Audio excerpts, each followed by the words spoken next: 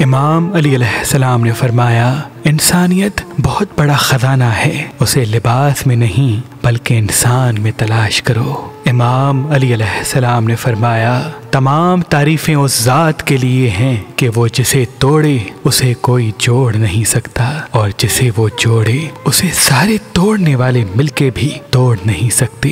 امام علی علیہ السلام نے فرمایا، جس نے کسی کو اکیلے میں نصیحت کی، اس نے اسے سوار دیا اور جس نے کسی کو سب کے سامنے نصیحت کی، اس نے اسے اور مزید بگاڑ دیا۔ امام علی علیہ السلام نے فرمایا، غلط بات پر غصہ آنا شرافت کی نشانی ہے، لیکن اسی غصے کو پی جانا مومن کی نشانی ہے۔ امام علی علیہ السلام نے فرمایا، بہت سے انسان ایسے ہیں جن کو انہی کی زبان نے موت کے گھاٹ اتار دیا ہے۔ امام علی علیہ السلام نے فرمایا، جاہل کے سامنے عقل کی بات مت کرو، کیونکہ پہلے وہ بحث کرے گا اور پھر اپنی ہی ہار دیکھ کر دشمن بن جائے گا۔ اپنی ہی ہار دیکھ کر دشمن بن جائے گا۔